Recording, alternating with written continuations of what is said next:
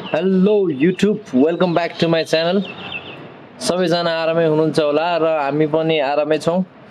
र आज चाहिँ म एउटा नयाँ युट्युब भिडियो लिएर आएको छु र युट्युब भिडियो चाहिँ हाम्रो स्कर्पियोको फोर विल सेन्सर कभर यस्तो यो कभर चाहिँ हामी मेटलको बनाउनु गइरहेको छौँ। र त्यसको भिडियो चाहिँ लिएर आएको छौँ र ड्यामेज भएको चाहिँ पिक चाहिँ हेर्छ होइन? यस्तो ड्यामेज हुन्छ। किप वाचिङ द भिडियो है। मेरो च्यानलमा लाइक सेयर सब्सक्राइब गर्नु भएको छैन भने गरिदिनु होला। बेल आइकन पनि। दबाइदिनुहोस्। बेल आइकन पनि दबाइदिनुहोस् रे मेरो भाइले। अब चाहिँ हामी यसको प्रोसेसतिर लाग्छ भाइ त।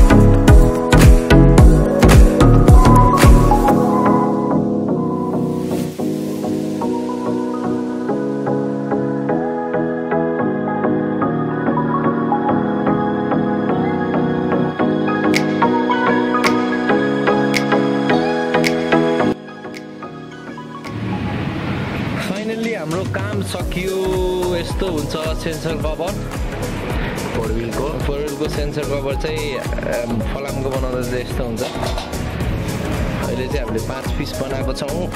र यसको कम्पनीबाट आउने कभर चाहिँ प्लास्टिकको यस्तो हुन्छ। धेरै दिन टिक्दैन।